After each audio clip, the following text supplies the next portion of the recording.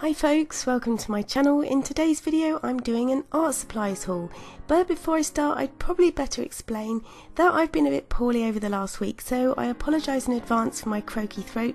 Do feel free to mute the volume and just watch the video in peace, but hopefully I'll be back to normal again soon. If you're new around here and you're curious as to what I'll be doing with these art supplies in future videos, please consider subscribing and hit the bell icon as well so you get notified when I upload a new art video. It's also worth mentioning that all the art supplies in today's video are supplies I have bought myself with my own money, so this video is not sponsored. So let's jump in with the first of today's supplies, which is the Clairefontaine Pastel Mat Paper. This is a trial pack of 7 sheets measuring 25 by 35 centimetres and comes in 7 different light colours. Now I've not used pastel mat paper before, but I've heard lots of good things and I'm really keen to test it out. So this 7 sheet pack of paper cost me £15.49 on Amazon in the UK, so it's not cheap, but this might vary some depending on where you live. Now unfortunately as you can see, despite being wrapped in a cellophane bag, the cardboard envelope it came in got pretty wet. It was delivered on a typically rainy day here in Sussex, but Clairefontaine does say that the paper keeps its original properties after being wet, so we'll have to wait and see. As for the paper surface, on the front it's pretty smooth with a slight texture, whilst on the back it's shiny, a bit like card. If you buy this paper in a pad, each sheet is separated and protected by a sheet of crystal paper, which is a bit like greaseproof paper, but this wasn't the case in this 7 sheet trial pack. So the next art supply is the Canson XL Mixed Media paper, which again seems to be quite a popular choice, and I thought it would be something I could use as a sketchbook for both wet and dry media. It measures 7 by 10 inches and has a weight of 160 grams, which is a lot less than my regular watercolour paper, so it will be interesting to test out. But for the £13.24 price tag, you do get 60 sheets of paper in a spiral bound pad. There is also the benefit of a serrated edge which makes removing artwork easy.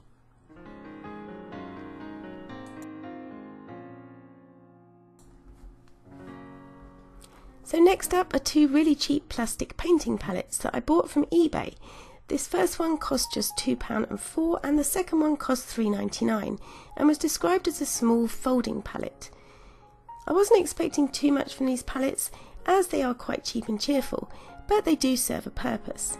I was looking to get in a small folding palette in particular, just so I can cover over any unused watercolour paint and store neatly for next time without any dust or dirt getting in. Because it's very light, it would also be good to travel with. The smaller palette has two larger and seven smaller rectangular mixing areas and I thought would be handy to use alongside my sketchbook to try out watercolour swatches and that kind of thing.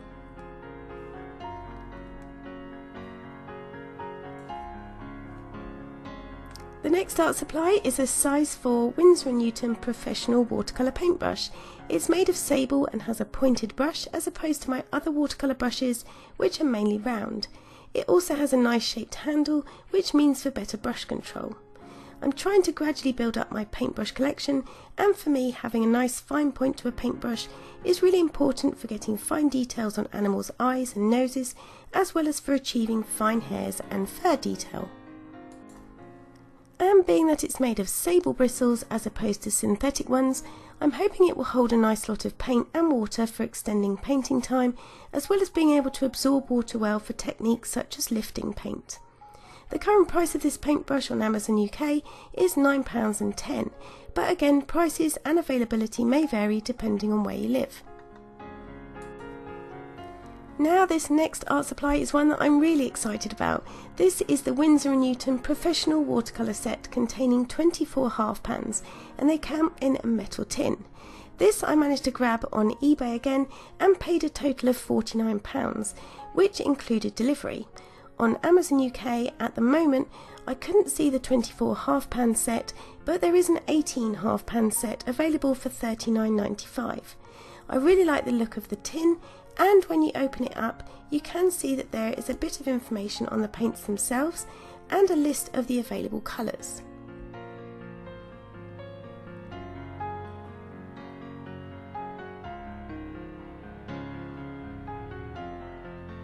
So this sheet also contains useful information about which pigments are used in each colour, as well as a guide to the light fastness and transparency of the individual colours. The tin opens up to reveal two mixing areas and like many palettes of this style, you can also remove the pans to use the bottom section of the tin as another palette, or simply if you don't want to work within the tin itself.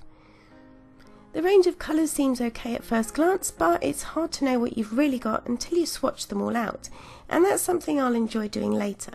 I'm currently in the process of putting together a colour swatch folder for my art supplies, so let me know in the comments if that's something you'd like to see. I am planning on comparing these professional Winsor & Newton paints to the student grade Cotman range of half pans also by Winsor & Newton, so be sure to subscribe if you don't want to miss out on that video, which I'm aiming to upload next Tuesday.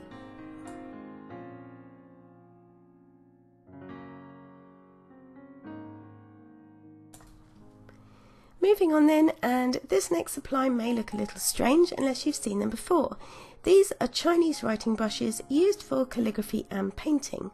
So lately I've been really enjoying watching and learning about the different styles of techniques of Chinese painting and decided to go ahead and buy a set since they weren't too expensive. This whole 10 piece set cost me $12.89 on Amazon UK and included the wrap case you see here. So this wrap unties to reveal the 10 brushes in the set. Now I'm not going to go into the description and size of each and every brush, but I will list this product along with all the others I've mentioned today in the description box below if you want to go and check them out for yourself. You can also slow down the time-lapse section of this video by changing your settings in the YouTube settings, and then you can see the individual brushes as I look at them.